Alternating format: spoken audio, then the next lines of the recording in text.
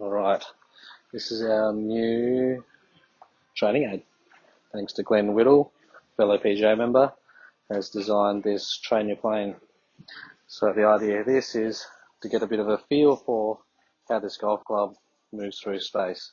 So a lot of us struggle with this kind of over the top kind of move. So you can imagine if I'm swinging this way, I'm going to hit this training aid. So we can actually, one, create some uh, feels off the back of this. And if I follow this line, we should end up with a, a positive number. Hope this helps.